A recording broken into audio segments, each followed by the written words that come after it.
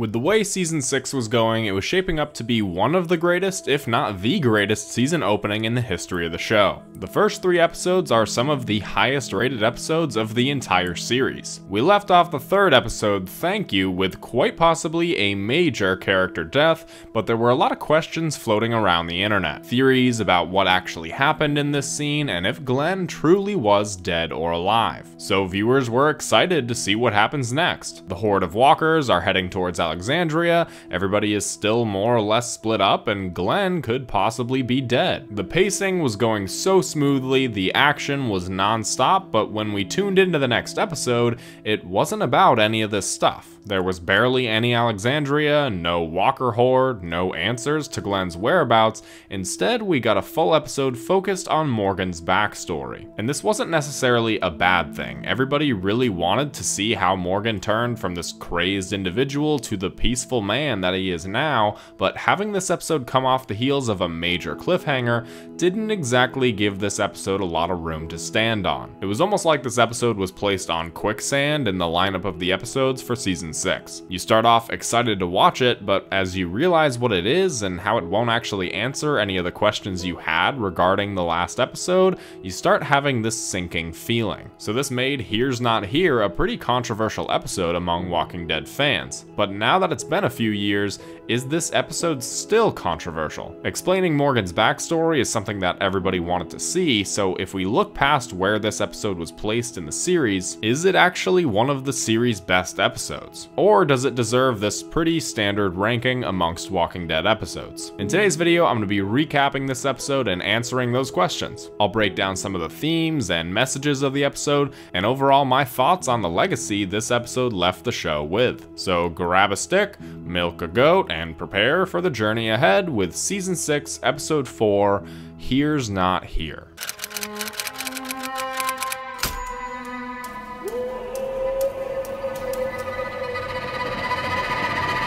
We start the episode off in present time, in Alexandria. Morgan is talking to somebody off camera, and based on the conversation, we can deduct that he's talking to the leader of the Wolves, and Morgan says he's gonna tell him a story. So we pick up with Morgan where we left him off in season 3 during the episode Clear. Morgan is yelling at seemingly no one, saying, You know you were supposed to, and in his anger, he seemingly forgets that the entire place is now on fire. So Morgan heads out, off into the wilderness, taking out any walk Or anybody that he comes across, the camera adding in some intentional blur to emphasize his craziness. But he still carries on his duty of lighting those that he killed on fire, still repenting for his sins and punishing himself for the life he thinks he deserves. Morgan gets attacked by walkers that night, so in the morning he starts building a perimeter around his new base camp. As he heads out searching for new supplies, he catches two people trying to sneak up on him. So he runs ahead, springing a trap for them when they finally catch up, screaming the same thing at them that he was screaming earlier in the episode. So he continues carrying out this life, marking his sayings on trees and rocks all around him. As Morgan is walking through the woods, he hears a goat. Going to try and take the goat, he comes across a cabin in the woods. A man calls out to him, asking him to put the goat down and speaking calmly. Morgan responds by trying to shoot him. This voice warns Morgan to put the gun down so that way they can work this out, but Morgan won't listen. This time around, the man gets the jump on Morgan and knocks him out. Morgan wakes up in a cage, and the man tries to speak with him once again. He asks him what his name is, and Morgan just says, kill me. That's a stupid name. It's dangerous. You should change it. He continues screaming this, and the man gives him his name, Eastman. He also throws Morgan a book called The Art of Peace. So Morgan watches Eastman through the bars of his cell. He protects the cabin by the use of his stick, trains with it, and tries, unsuccessfully, to make some dairy products from the goat. Eastman talks to Morgan, telling him he was a psychiatrist from Atlanta, and he decided if people who were locked up should be sent free. Morgan says it's his job to clear anybody and anything that stands in his way. The next day, Morgan tries his best to look for a way to escape. Eastman comes in and actually makes some leeway with getting through to Morgan. He diagnoses him with PTSD and figures out why that is, that he saw his loved ones pass away, but Morgan also saved people. As an audience, we know both of these things are true. Eastman says that he's only ever met one true evil person, and the rest were either born with bad brains or got lost along the way, just like Morgan. He also tells Morgan that the door has been open the whole time, so he has two choices. He can leave or he can stay. Those are the two options, killing Eastman isn't an option. So Morgan of course opts for the unofficial option 3, to which Eastman... I kicked your ass earlier. Well, that's how I redirected your ass and Morgan chooses to go back in the cell. During their fight, Morgan accidentally broke a picture on the wall, and Eastman talks about his daughter, how she gave him a rabbit's foot for good luck, and Morgan starts to realize what he's done. The next day, Eastman says he's going out to look for supplies for a trip that they're going on. Where the trip is, even Eastman doesn't know. He offers for Morgan to come, but Morgan stays silent. So Eastman leaves, and Tabitha the goat starts crying when walkers approach. Morgan chooses to go outside and take out the walkers, dragging them over to a makeshift graveyard where Eastman buries the dead. Eastman approaches and thanks Morgan for saving Tabitha. He also takes the wallet from the dead and writes their name on the headstone. Back at the cabin, Eastman says that Morgan has to fix the garden, and then he gives Morgan a stick of his own. We then get an old school training montage of Eastman training Morgan the ways of the stick, Morgan reading the book and getting progressively more comfortable getting away from the cage, and giving it to Tabitha. They have dinner that night, and Eastman tells the story of the one true evil man he's ever known, Crighton Dallas Wilton, a charismatic and true sociopath. He tells him how he was up for parole, seemed like a true changed man, but Eastman saw right through his act and sent him away for life. But Crighton escaped, murdered Eastman's family, and turned himself back in.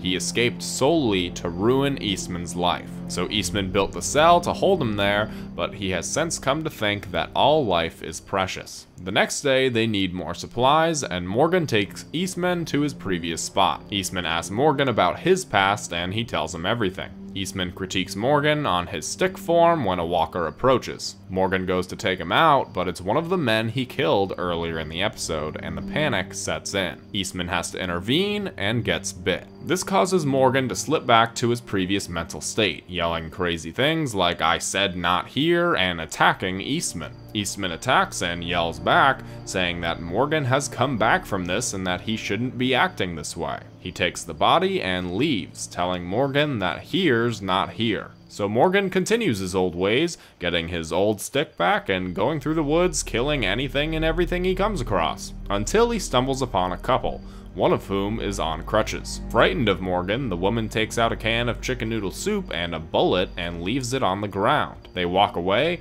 and Morgan realizes that Eastman was right. All life is precious. He returns to Eastman, who's burying the body, and Eastman reveals that he did in fact capture Crighton and locked him in the cell. It took 47 days for him to starve to death, but it didn't bring him peace. After all of that, the world went to shit, and Eastman was exactly in the same mindset as Morgan, but he came back. So Morgan buries Eastman and Tabitha and sets off towards of all places, Terminus. Back in the present day, we see that Morgan was in fact talking to the leader of the wolves, but even after that story, it didn't change his perspective. The wolf says he's still gonna kill everybody here if he gets out, and Morgan realizes that he might have his own Crighton Dallas Wilton on his hands, right before he hears Rick Grimes screaming to open the gate, and the episode ends.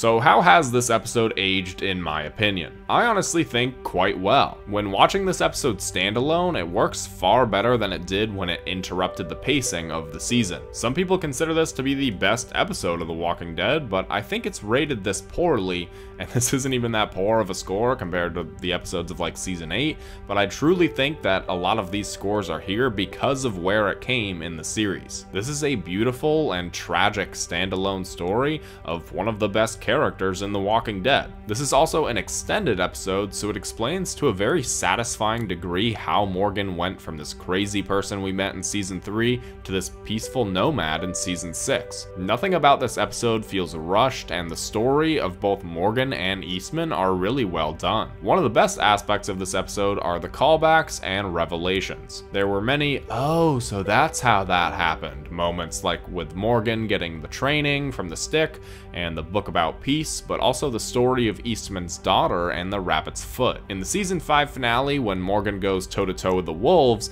he puts them in a car and smiles when he sees a rabbit's foot dangling from the car window. This scene didn't really make a whole lot of sense at the time, but with the context of this episode, it now shows us what Morgan was thinking, and he was thinking of Eastman at that time. And while the season 5 finale might have only been four episodes ago, it was almost a full year before this episode aired on TV, so it showed that they were planning Morgan's backstory and had it all thought out well in advance. This is kind of a testament to how well written this whole story was and how the show as a whole was written at that time. I'm not too sure if they filmed this episode or like the majority of it a while ago, that could definitely be the case, and they had already filmed it by the time they were filming the season 5 finale, but everybody always harks on Walking Dead's writing, so I'm to give the writing a compliment here and keep things positive. On top of these revelations, there were some callbacks, like when Morgan says, don't ever be sorry, and that's exactly what he said to Carl when he met him back in the episode Clear. And one of the bigger, either callbacks, Easter eggs, unanswered questions, whatever you want to title this, are the references to A and B. Morgan writes the letter A on a tree during his crazed state, and Eastman says A and B to Morgan in this scene. A and B.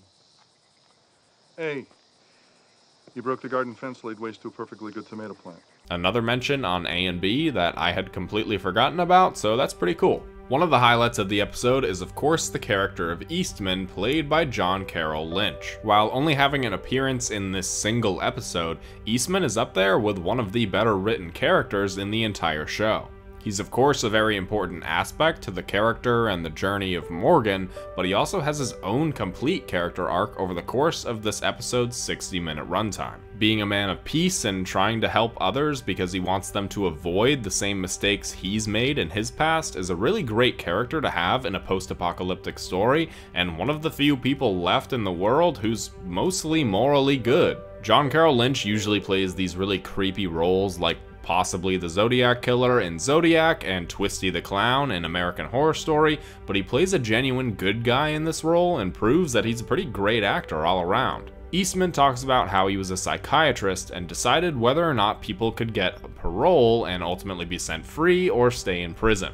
And out of his many years in that position, he's only ever met one truly evil person, and that's Crighton Dallas Wilton. Now, we don't ever see this character or anything of that nature, but the character itself is a pretty big metaphor for some of the foes in the show. We see that Morgan is talking to the wolf and trying to get him to leave the dark side, but he can't really get through to him no matter what. At the end of the episode, Morgan thinks that this wolf might be his own Crighton Dallas Wilton. But a few episodes later, we see that this isn't the case at all, because the wolf gives his life to save Denise, making him not true and total evil. Some of the bigger villains in the show also prove that they're not true and total evil. Negan gets his own redemption arc and backstory episode. Gareth said that they only turned to eating those who turned up because the place was overrun by a group of bad people. So who is the Crighton Dallas Wilton to the characters of the show? I have maybe two people that come to mind, and that's Joe from the Claimers, and mainly the governor. The governor proved that he was too far gone. He was given the opportunity for peace by Rick and he still chose violence. Eastman says that everybody was either born with bad brains or got lost along the way, and most of the characters we meet got lost along the way, but the governor didn't get lost along the way. You could argue that he was born with a bad brain, but I think it actually makes more sense that he's true evil. If you listen to what Eastman says about Crighton, he says that he was a very charismatic individual, getting into the heads of all those around him and ultimately getting them to support him, and this sounds a lot like the governor who built an entire community, lost it, and still got more supporters only a few months later. So while this might be a little out of order, you'd expect that the next Crighton Dallas Wilton would come after this episode, I think he actually came before, and that the true evil of the show, according to Eastman's standards, was the governor. Now this episode is titled Here's Not Here and that's a pretty confusing phrase. When Morgan and Eastman get into their fight, Morgan says that he didn't want to practice here, and Eastman says, well, Morgan, here's not here. But what does this actually mean? Like a lot of things in The Walking Dead, it's kind of open to interpretation. I even tried looking for the actual explanation, but everybody has kind of come up with their own theories, and I like that better. Some of the theories I saw involved Eastman's conversation about PTSD, how everything seems very real in front of you, yet you feel disconnected. So here, where you are, is not actually here, if that makes sense. Another person associated it with Morgan and his self-inflicted penance, how Morgan eventually got driven crazy, not over the death of his son and wife, but that everybody around him died too, and he didn't know why. In the house in the episode Clear, Morgan has written on the walls all the different ways people have died, and not all of them are due solely to walker bites. As an audience, we know that the virus is airborne, but Morgan didn't know that, so he started seeing everybody around him turn into flesh-eating monsters, he became more and more insane. So another form of PTSD, and Morgan thinking that he's in his own personal hell. Not really here. Other theories stated that it means your past problems are only your present problems if you let them be, and I like that one. And then I saw one about how here's not here means people aren't welcome. The expression we're here means that they're welcome, and here's not here means that they aren't welcome.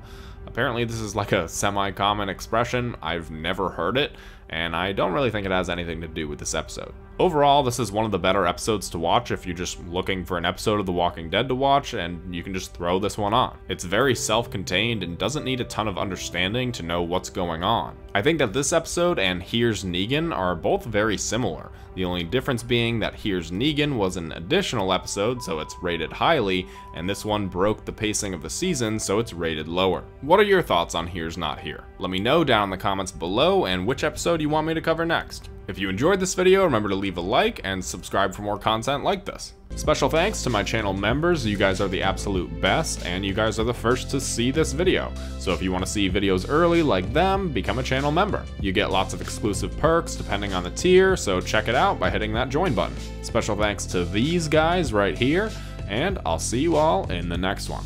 Yeah.